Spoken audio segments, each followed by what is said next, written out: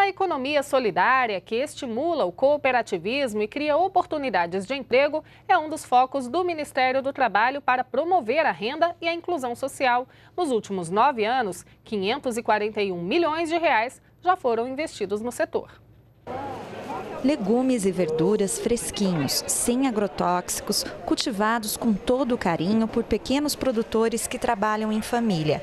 É a produção e a rotina do seu Alcides, que cultiva e vende os produtos com a filha, a técnica agropecuária Tainã. O nosso horário de trabalhar lá nós é, é 5 horas da manhã, você vai até 6 horas da tarde. Aí para você vir para cá, eu saio de casa uma e meia da manhã, vou na areia de terra, Aí joga o produto em cima do caminhãozinho que é da cooperativa, que isso também está dando apoio para nós para trazer o produto para cá, né?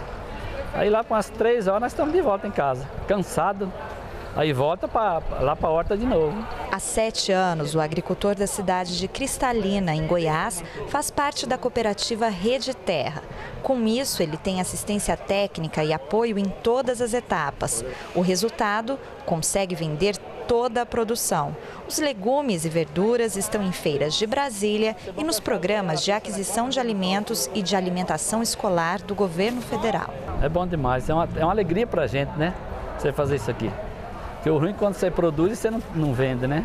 Aqui você vem aqui, você, tudo que você traz aqui você consegue vender. Como o seu Alcides e a filha, mais de 400 famílias de agricultores familiares de quatro municípios goianos fazem parte dessa cooperativa. Eles recebem assistência técnica e apoio desde o plantio até a comercialização.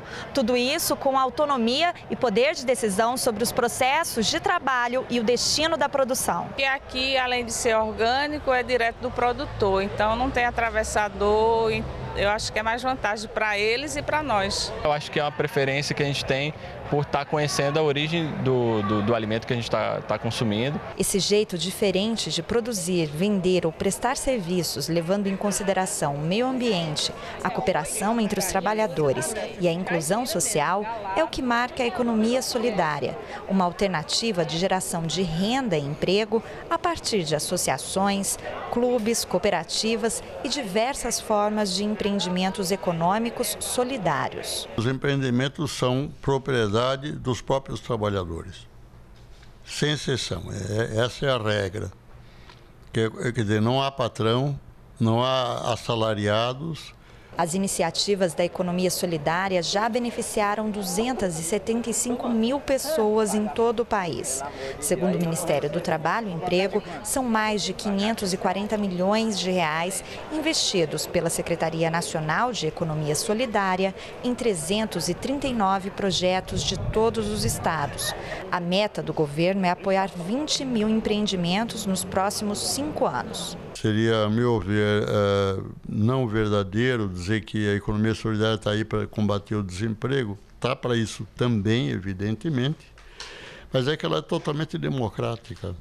Ou seja, é uma forma de economia em que ninguém manda e ninguém obedece. Todo mundo é igual. E isso pegou agora no mundo inteiro.